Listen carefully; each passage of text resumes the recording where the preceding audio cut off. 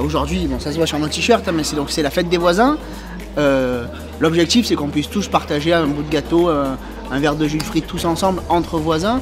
C'est l'occasion de pouvoir discuter aussi sans forcément juste se croiser le matin quand on part au travail ou le, ou le soir en rentrant. Ça crée des vrais liens ça crée une vraie ambiance de quartier je trouve que c'est important. Et puis ce qui est, ce qui est super sympa, c'est que chacun a, a, cuisiné un petit truc, a amené quelque chose.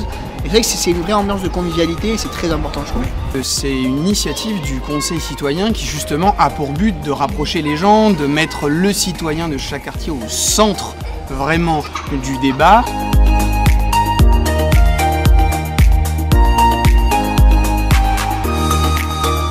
Nous a donné un coup de main et a donné un coup de main au Conseil citoyen pour organiser ça. Donc c'est intéressant aussi que la mairie s'implique, parce que ça permet aussi aux, citoyens de la ville de se rendre compte que voilà, la mairie aussi participe aux événements de quartier et euh, à ce que fait le Conseil citoyen.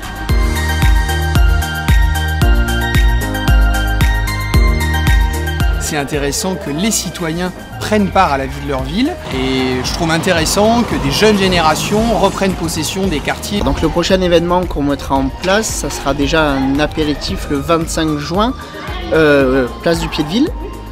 Euh, et le matin, une partie de l'équipe fera un pique-nique au, au pigeonnier pour présenter les actions du Conseil citoyen.